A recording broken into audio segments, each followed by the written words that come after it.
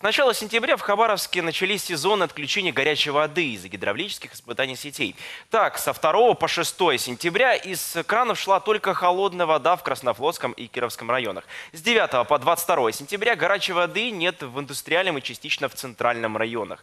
С 16 по 20 сентября ресурс также отключен в части Кировского района и центрального районов. В поселке Некрасовка на время испытаний не будет горячей воды с 23 по 29 сентября. Напомним, во время гидравлических испытаний горожанам следует быть внимательными в связи с возможностью образования дефектов на теплосетях. О том, какие работы сейчас проводятся, возможно ли в обозримом будущем сократить длительность отключений и не только, поговорим с нашим гостем в студии Сергей Нехороших, директор филиала Хабаровская теплосетевая компания. Сергей Геннадьевич, доброе утро. Доброе утро. Вот в этом сезоне в некоторых районах, да, мы сейчас уже назвали э, числа, получается, что горячей воды нет э, две недели в домах некоторых. Почему так долго и с чем это связано?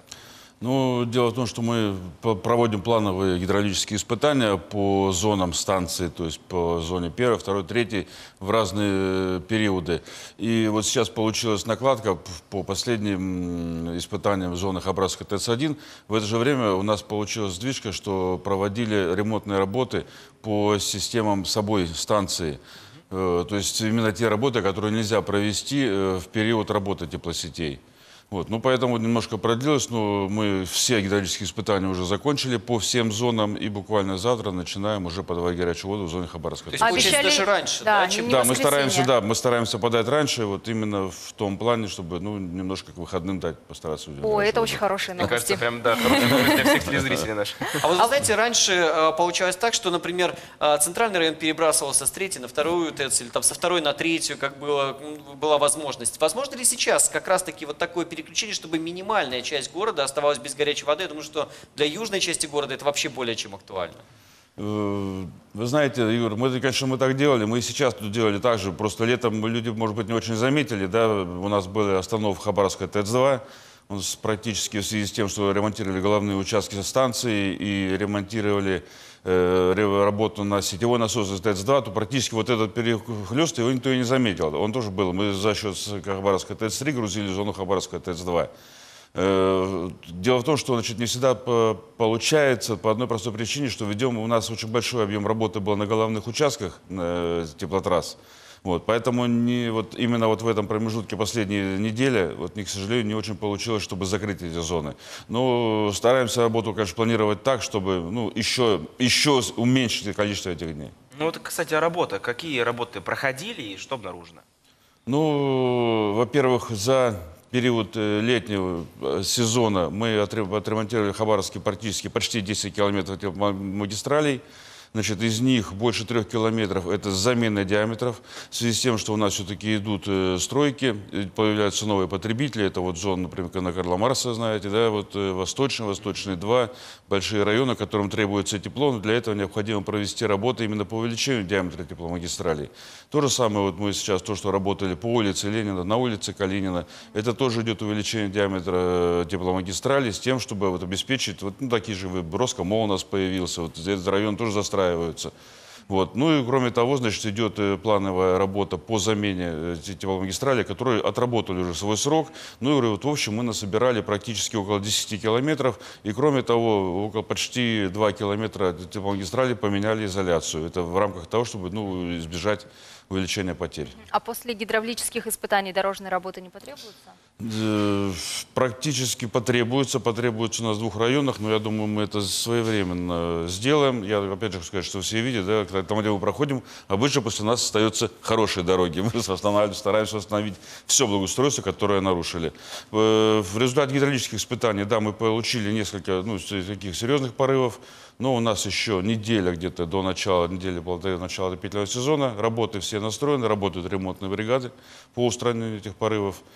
В отопительный сезон мы, как всегда, войдем, я думаю, что успешно. Ну а когда уже, есть уже примерно ориентировочные сроки, когда отопительный сезон начнется? Ведь буквально вот немного осталось Хабаровске. Я думаю, что мы э, пока по предварительным нашим разговорам, я думаю, что где-то в районе 7 числа. Потому что, по крайней мере, по прогнозу тому, который есть на сегодняшний день, через неделю опять теплеет. да.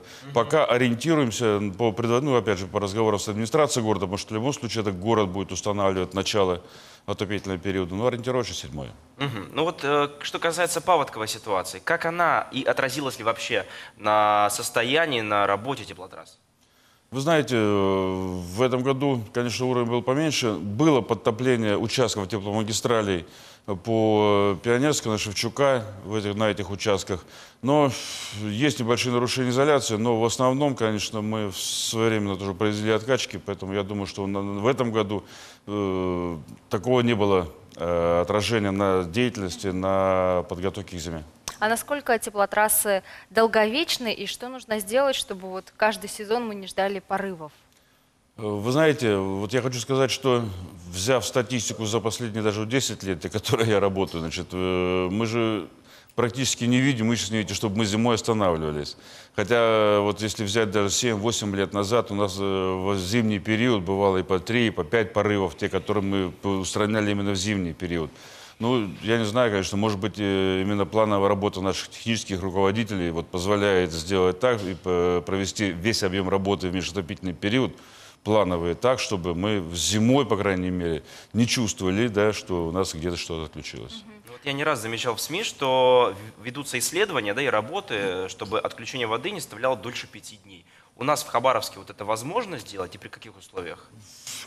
Ну, возможно, в принципе, у нас все в этой жизни, да, но для этого просто необходимо провести очень большой объем работы.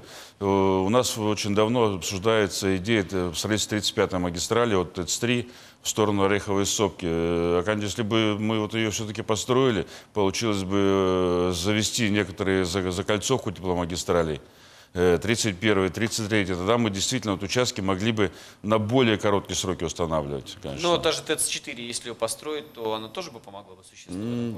Ну, помогла бы, но дело в том, что Т-4, она будет работать на те же самые тепломагистрали, которые работают на сегодняшний день, вот зона Хабаровская ТЭЦ-1. Но я же говорю, что в любом случае одна вот новая магистраль, конечно, помогла бы город очень разгрузить. Сергей Геннадьевич, спасибо вам большое. Пришли к нам вы утром с хорошими новостями, особенно у тех, у кого сейчас нет горячей воды. Завтра уже будем греться. Да. Постараемся. Напомним, у нас в гостях был Сергей Нехороший, директор филиала Хабаровская теплосетевая компания.